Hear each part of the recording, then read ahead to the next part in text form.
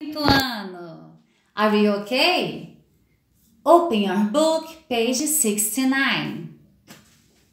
Listen and follow along. Pay attention.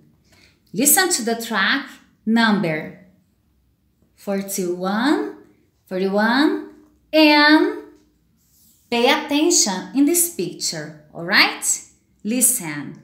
Aqui nós vamos ouvir mais uma vez, nós vamos ver mais uma vez o uso do adverb e do verbo to be, there is e there are. E nós vamos aprender também agora uma outra expressão, another expression, right?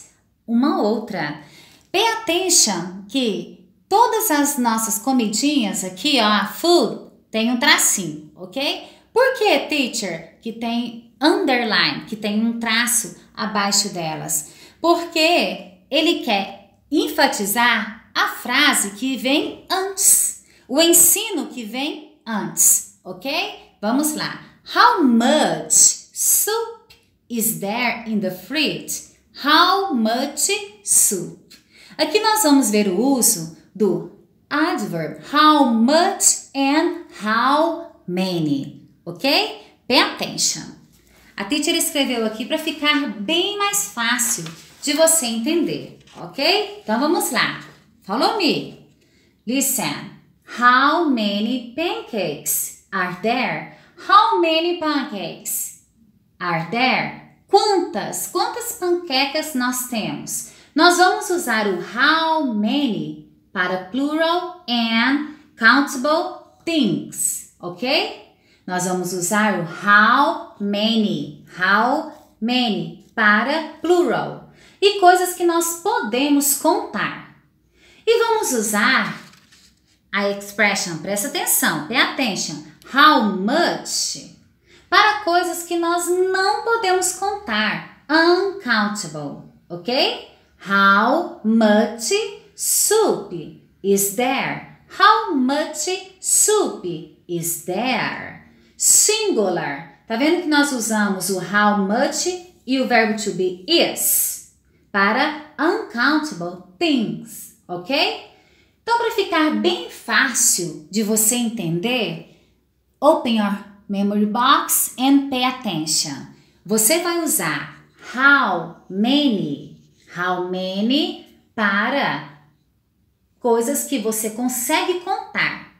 E o how many sempre são coisas que estão no plural. Sempre vai ter o verbo to be are, ok? How many, coisas que nós podemos contar e sempre estar no plural.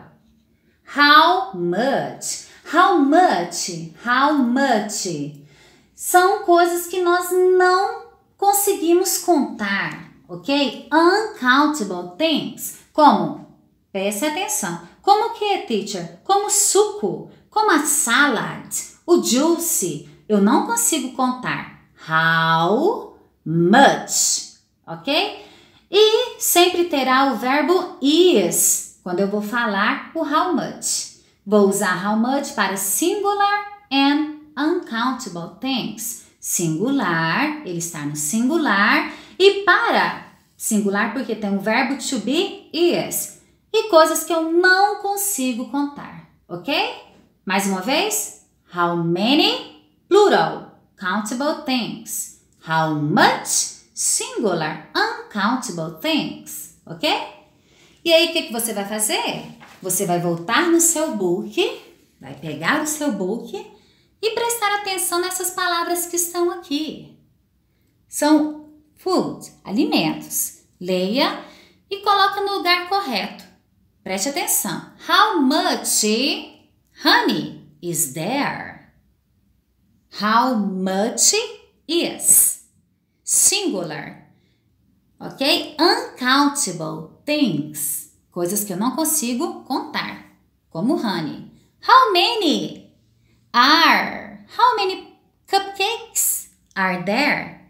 Countable things. Coisas que eu consigo contar.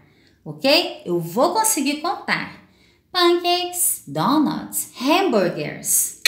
Nós vamos usar o how many e vamos usar sempre no plural, ok? Number four, não é necessário você fazer, ok? Que é uma atividade de manual, de recorte.